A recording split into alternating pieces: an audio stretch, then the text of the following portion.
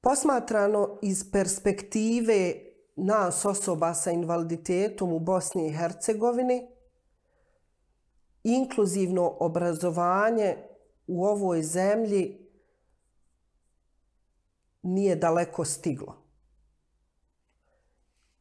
U Bosni i Hercegovini još uvijek je prisutno čak i isključivanje djece sa invaliditetom iz obrazovnog procesa, informacije kojima raspolažemo mi koji se bavimo ovim pitanjima, govore u stvari da još uvijek ima slučajeva u lokalnim zajednicama gdje direktor škole odluči da dijete sa invaliditetom neće pohađati školu i pravda se nepristupačnošću okoline, needuciranošću nastavnika, a dijete sa invaliditetom, roditelji djeteta sa invaliditetom u stvari niti znaju, niti imaju priliku da se žale i da promijene to što je neko odlučio.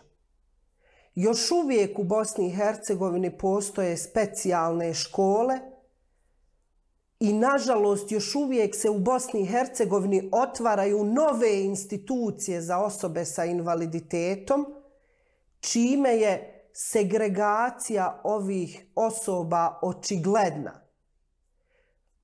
Često čujemo kako je neka redovna škola inkluzivna zato što u okviru te škole postoji odjeljenje koje pohađaju djeca sa invaliditetom.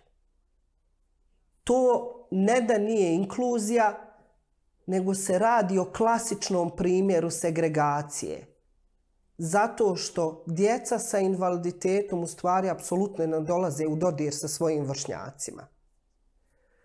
S druge strane, određen broj djece u ovoj zemlji zaista pohađa redovne škole.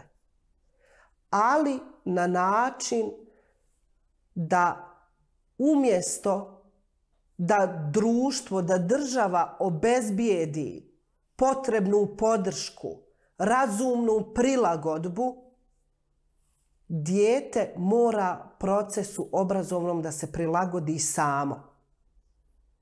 Država mu neće obezbijediti ni potrebna pomagala, ni uslove da na jednakoj osnovi sa drugima pohađa obrazovni proces, nego teret takvog obrazovanja, to sam već rekla, pada na porodicu djeteta, na nevladine organizacije koje često pružaju podršku onoliko koliko mogu.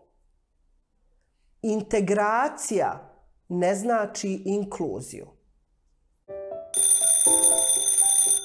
Poštujmo osnovno ljudsko pravo djece i mladih s invaliditetom na kvalitetno inkluzivno obrazovanje.